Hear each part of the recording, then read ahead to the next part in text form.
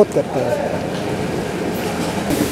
बसमीम ultimate street food की नई वीडियो के अंदर हाजिर खिदमत हैं और आज हम मौजूद हैं मलंगजान किचन में और आज हम आपको बताएँगे कि इनका इनका तरीक़ाकार क्या है तो इन्होंने सबसे पहले इसके अंदर प्याज डाले हैं जैसे पुलाव बनाया जाता है टिपिकल वही तरीका है और उसके बाद इन्होंने टमाटर डाले हैं जी ये देख रहे हैं तो बताते चलें कि ये प्रोफेशनल और अथेंटिक रेसिपी है बंडू बीफ पुलाव की और इसके अंदर ये 30 केजी चावल इस्तेमाल करेंगे और 50 केजी ये बीफ यूज़ करेंगे जी। बहुत बड़े लेवल के ऊपर जो है ये कुकिंग होती है और मेरे ख्याल में पाकिस्तान में इससे बड़े देगचे आपने कहीं नहीं देखे होंगे। आप लोगों की फरमाइश थी कि मलंगजान की जो रेसिपी है वो हमसे शेयर करें तो आज हम आए हुए हैं और मैं मलंगजान का आ, बहुत ज़्यादा दिल से शुक्रगुज़ार हूँ कि उन्होंने फ़राग दिली के साथ अपने किचन में आने दिया और उन्होंने मुझे बाकायदा कहा कि हमारी रेसिपी बाकायदा शेयर करें लोगों के साथ। तो ये देख रहे हैं जी 50 के जी बीफ इसके अंदर यूज़ होगा जी।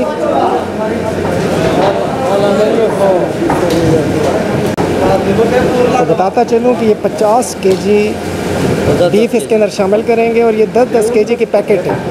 और इसको आप ये अच्छे तरीके से साफ़ करेंगे। और ये भी बताता चलूँ कि माशाल्लाह मलंगजान का इतना काम है कि इनका जो ज़िबा है, ये अपना खुद करते हैं।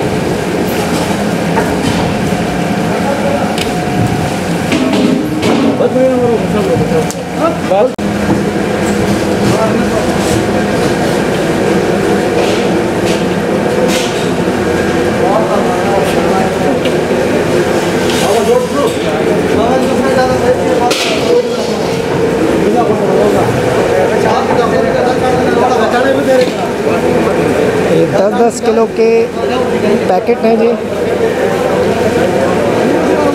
इनके एक देगचे में 50 के जी गोश्त का इस्तेमाल किया जाता है।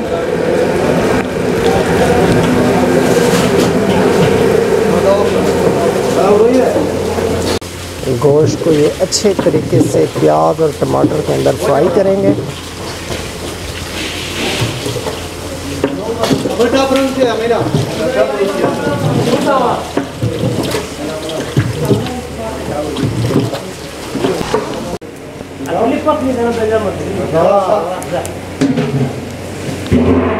ये ढक्कन आपने दे देना है, ये जैसे मैं बता चुका हूँ, एक घंटा टाइम इसके ऊपर लगेगा तो हमारे साथ रहें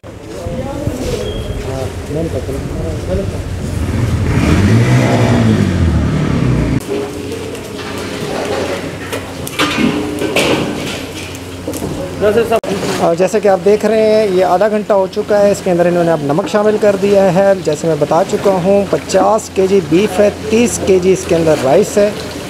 तो मलंगजान की अथेंटिक रेसिपी हम आपसे शेयर कर रहे हैं। हम कोशिश करेंगे कि वन के जी की, यानी एक के जी की जो रेसिपी है, वो आपके साथ डिस्क्रिप्शन बॉक्स के अंदर शेयर कर सकें। लकड़ियों के ऊपर स्पेशल कुकिंग है जी। और ये इसमें जैसे कि आप देख रहे हैं भी पानी है तो ये तकरीबन पानी बिल्कुल जब खुश्क हो जाएगा तो फिर आगे फर्दर प्रोसीजर आपको दिखाया जाएगा। क्योंकि ये कुकिंग पहले से स्टार्ट थी तो बताते चलें कि इसके अंदर तकरीबन आठ से नौ लीटर ऑयल यूज़ होता है जी। और हल्का सा पानी का इस्तेमाल होता है, ज़्यादा जो आप इस वक्त पानी देख रहे हैं, टमाटर और प्याज का अपना पानी है। तकरीबन 15 से 20 मिनट मज़ीद लगेंगे गोश्त की अच्छी तरीके से बुनाई की जाएगी और उसके बाद जो फर्दर प्रोसीजर है इन हम आपसे शेयर करते हैं। तो हमारे साथ रहिएगा। तो जैसे कि आप देख रहे हैं, इसके अंदर इमली जो है, वो सवा किलो डाली जा रही है जी। और बताता चलूँ कि इसके अंदर 50 केजी गोश्त है और 15 से 20 केजी जो जो है, इसके अंदर हड्डी डाली जाती है। और ये भी बताता चलूँ कि मलंगजान की रेसिपी का ज़िक्र हर जगह होता है, लेकिन मलंगजान जो अपनी रेसिपी के ऊपर ख़र्चे करता है और उसका ज़िक्र कहीं नहीं होता। तो ये देख रहे हैं कि 30 केजी टोटल जो चावल हैं, उसके अंदर तकरीबन पचपन से साठ के जी गोश्त यूज़ हो रहा है। और डेली की बुनियाद पे तकरीबन ये 50 बड़े पतीले तैयार किए जाते हैं जी। डिमांड के ऊपर है जी इनके। तो ये इसके अंदर उन्होंने नमक डाला है और धड़ा मिर्च इसके अंदर शामिल की है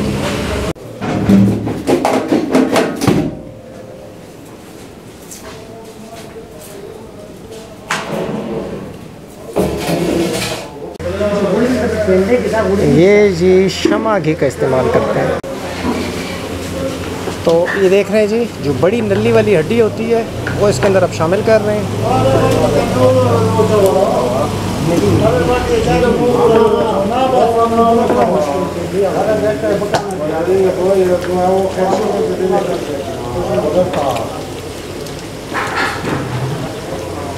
10 से 15 किलो नली इन्होंने शामिल की है इसके अंदर। तो अब इसके अंदर जी 40 केजी पानी जो है ये शामिल करेंगे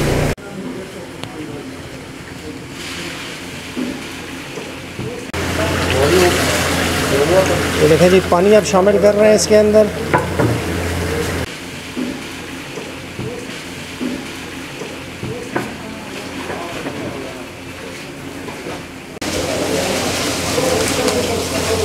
तो अब इसका जो है पानी पूरा हो गया है, तकरीबन 40 लीटर पानी इन्होंने ऐड किया है इसके अंदर जी। अब इसको बॉईल करेंगे, उसके बाद इसके अंदर ये फिर फर्दर चावल डालेंगे। हमारे साथ रहिएगा। तो आप बताते चलें कि इन्होंने जो सेला चावल हैं, वो पहले से भिगोए हुए हैं जी। ये देख रहे हैं आप। और ये तीस तीस किलो के चावल जो हैं, इन्होंने पहले से भिगोए हुए हैं। ये भी हम जब डालेंगे इन आपको हमारे साथ रहें, आपको हम ये दिखाएँगे। माशाल्लाह जी। तो ये देख रहे हैं जी, चावल मलंगजान की जो रेसिपी है, वो तैयार है।